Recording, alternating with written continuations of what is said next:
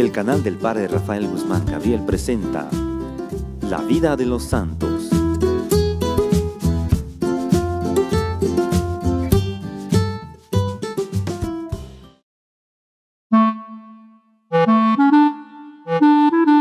San Valentín. ¿Quién era Valentín? En el martirologio romano, el 14 de febrero, encontramos no a uno, sino a dos Valentines. Del primero se dice, sacerdote y mártir, que después de haber realizado varias curaciones significativas, fue asesinado y degollado bajo la orden del emperador Claudio César.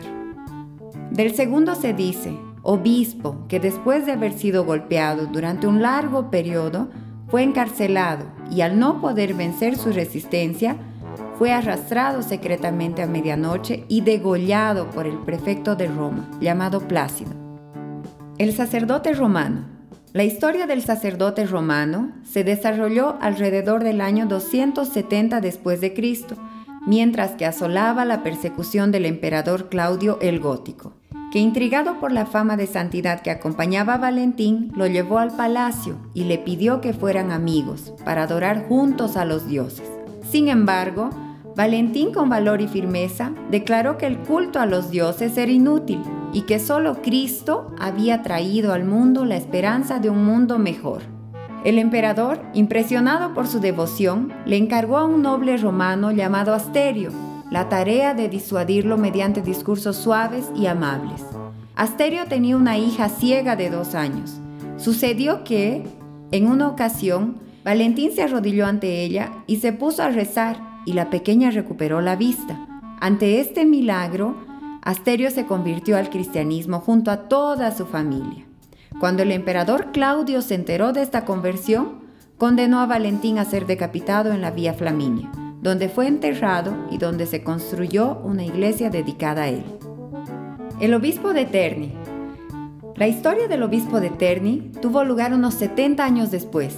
Valentín fue invitado a Roma por el retórico y filósofo Cratón, un maestro de lengua griega y latina, que tenía un hijo llamado Queremón, que sufría de una deformidad física que lo obligaba a mantener la cabeza entre las rodillas y ningún médico había logrado curarlo.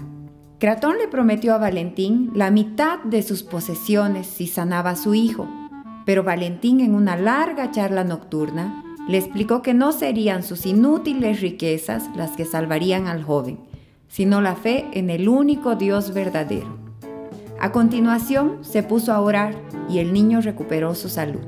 Ante el milagro, Cratón y toda la familia pidieron ser bautizados por el obispo, junto con tres estudiantes griegos, Próculos, Éfebo y Apolonio. Con ellos también abrazó al cristianismo a Bondio, otro estudiante, hijo del prefecto de Roma. Furioso Plácido del cual sabemos que ocupó este cargo entre los años 346-347, esta fue posteriormente la fecha histórica atribuida al martirio de Valentín. Plácido, dolido por la conversión de su hijo, hizo detener a Valentín y lo decapitó en la Vía Flaminia, pero en secreto, durante la noche, para evitar la reacción de la numerosa comunidad cristiana de la ciudad.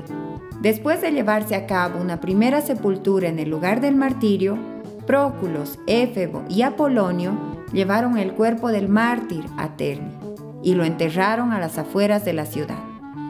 Pero en Terni, el cónsul Lucencio, informado del hecho, hizo capturar a los tres y también durante la noche, por miedo a que el pueblo los liberara, los mandó a decapitar.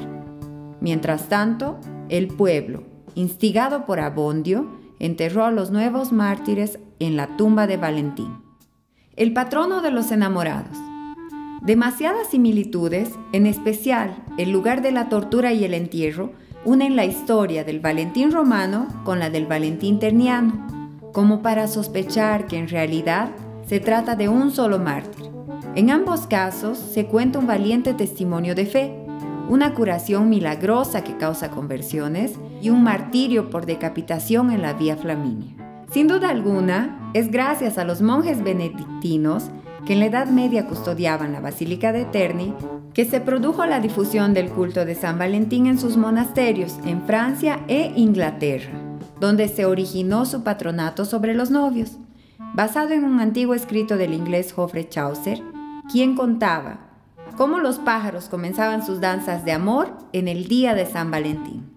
A mediados de febrero, de hecho, la naturaleza comienza a despertar de la hibernación del invierno, por lo que San Valentín se convirtió en el santo que anunciaba la inminente primavera.